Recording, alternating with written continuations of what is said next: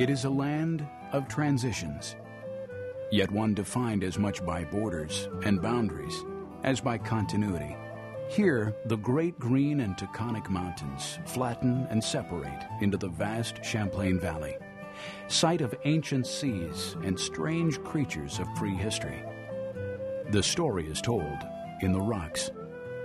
Immediately to the north, Canada, as the land broadens still farther into the valley of the St. Lawrence.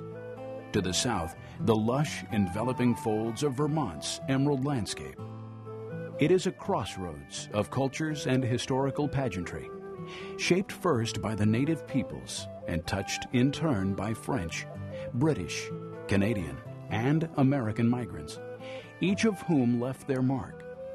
It has been the site of mighty deeds and exceptional bravery, great cruelty and avarice, the domain of priests and smugglers, prophets and profiteers.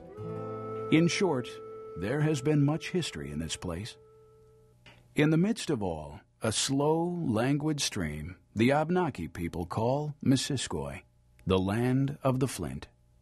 Tucked into the Green Mountain State's far northwestern corner, it is a crossroads of life for the animals and plants that make this place their home. It is Vermont's haven for wildlife.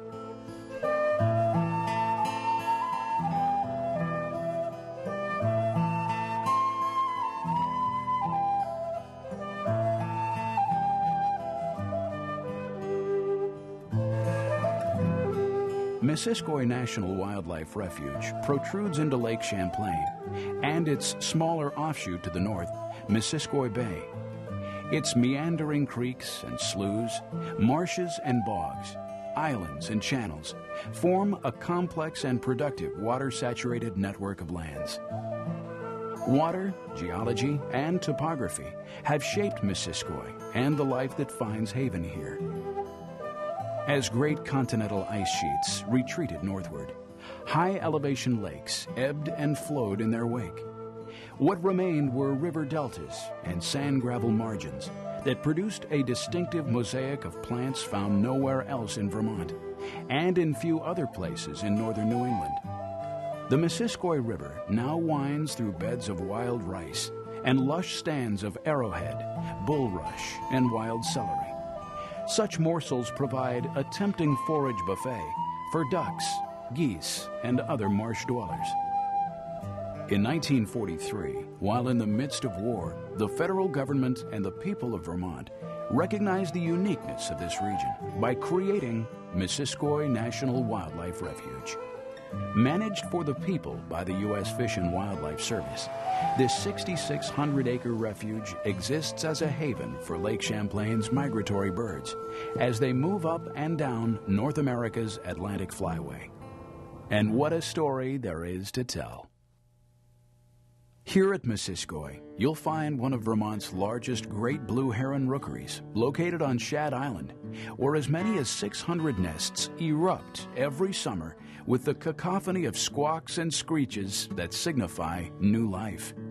Most of Vermont's black terns nest on the refuge, as do a large share of our state's ospreys, which are encouraged to come here by osprey nesting platforms.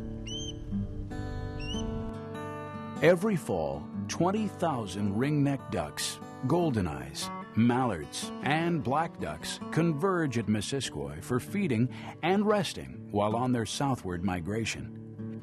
Other birds you'll spot in seasonal abundance include bittern, bobolinks, killdeer, red-tailed hawks, and a profusion of noisy and demonstrative woodpeckers and songbirds. In their rarity, you might even spy a peregrine falcon, sedge wren, or bald eagle. But Missisquoi isn't just for the birds. Our lands are managed to preserve the natural diversity of animals and plants that intersect at this biological crossroads. Missisquoi's 900 acre woodland Maquam Bog shelters the Green Mountain State's only community of pitch pine, rhodora, and chain fern, a state threatened species. In summer, you'll spot white-tailed deer and a variety of resident songbirds in this swampy lowland. Spiny soft-shelled turtles bask in the sun's rays on the nearby Missisquoi River. Here, we actively manage the land to perpetuate this diversity. At Missisquoi, as at all national wildlife refuges, the hand of man is an active one. Water levels are manipulated to encourage wild rice and buttonbush for our black ducks and teal.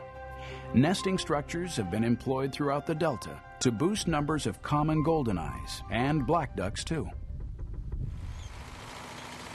Because haying, mowing, and prescribed burns discourage open fields from returning to forest, we use these techniques to produce cover for grassland birds like bobolinks, savanna sparrows, and eastern meadowlarks, and to yield the small mammals that hawks and American kestrels require as prey. It's all part of a carefully crafted plan to maintain balance among the many species you'll encounter at Missisquoi. We control non-native or exotic plants like common reedgrass and purple loosestrife. If left unchecked, they would quickly overwhelm native plants. We allow limited trapping of raccoon, muskrat, and beaver to control predation on ground nesting birds and to protect our impoundment dikes and water control structures. Your first stop for a successful visit to Missisquoi National Wildlife Refuge should be our new 7,200 square foot visitor center and headquarters near Route 78's intersection with Tabor Road in West Swanton. Here, you'll discover exhibits and practical information about the refuge, its wildlife, and its natural history. You'll meet our helpful and knowledgeable staff and our partners, the Friends of Missisquoi National Wildlife Refuge. Our center is open every weekday, while the refuge itself is yours seven days a week, dawn to dusk. Nature walks, boat tours, public lectures, and special events like our popular owl prowls and woodcock walks occur throughout the year. While you're at our visitor center, we invite you to join in supporting the mission of the National Wildlife Refuge System by buying a duck stamp. It's the duck stamp that created Missisquoi Refuge with the funds of hunters and other conservationists, and from millions of people just like you. Our staff and volunteers from our Friends group will be glad to tell you more about conservation's remarkable little stamp. We recommend you begin your Missisquoi experience on foot, either early or late in the day when animals are most active, starting on our nearby one mile loop trail. It leaves our visitor center and winds through grass and shrublands, wetland forests, a buttonbush swamp, and mixed hardwoods of oak, birch, and sugar maple. Our Black Creek and Maquam Creek interpretive trails will take you through one and a half miles of maple, gray birch, swamp white oak, and ash lowlands. If you're quiet and observant, you're sure to spot red fox, white-tailed deer, and colorful patches of native wildflowers along these trails. Deeper into the refuge, the one-mile Mac's Bend Road and our Stephen J. Young Marsh and Old Railroad Passage Trail provide good wildlife windows for birds and marsh mammals. If you stay on the trails and move quietly, you'll be treated to so much more. And when areas are closed, know that we're often protecting sensitive habitats and bird nesting areas.